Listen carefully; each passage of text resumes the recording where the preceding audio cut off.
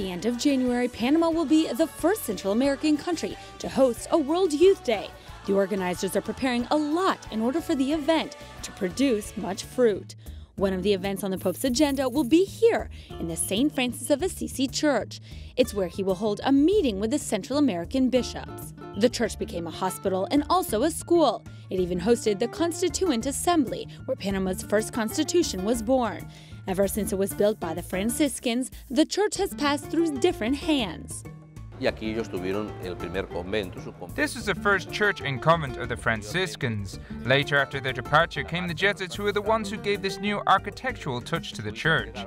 They returned to the Isthmus of Panama and undertook restoring the church because it was in poor condition.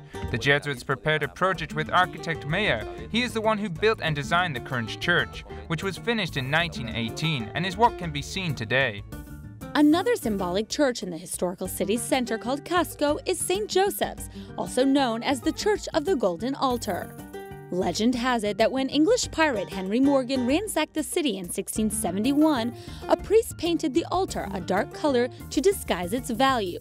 However, it's not really made of this precious metal. It's carved on mahogany wood and covered with a gold leaf. After the devastation Morgan brought to Old Panama, the altar was moved to its current location. The church is another building in the area that is under restoration. It was declared a UNESCO World Heritage Site in 1997. The original splendor of this entire monumental historical complex is also being restored, the same as in the 17th century, when it formed part of the old walled Spanish city founded in 1673.